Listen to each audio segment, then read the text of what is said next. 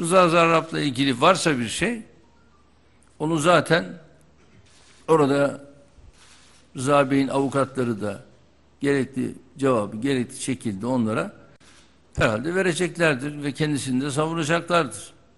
Bu zaten ülkemizle alakalı bir konuda değildir.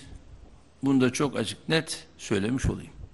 Ekrandaki son dakika notunu görüyorsunuz. Sıcak bir haber. Detayını öğreneceğiz. Şimdi Dışişleri Bakanlığı Amerika'dan Rıza Sarraf'ın durumu ile ilgili bilgi istedi bir nota vererek. Şimdi bu hikayenin perde gerisine de biraz daha önceki dönemlerine de bakarak hatırlayacağız ve konuşacağız.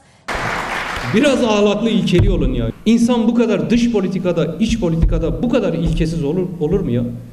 Hani Kürtçe'de bir laf vardı ya naneseli, iki yüzlü. Bunlar böyle.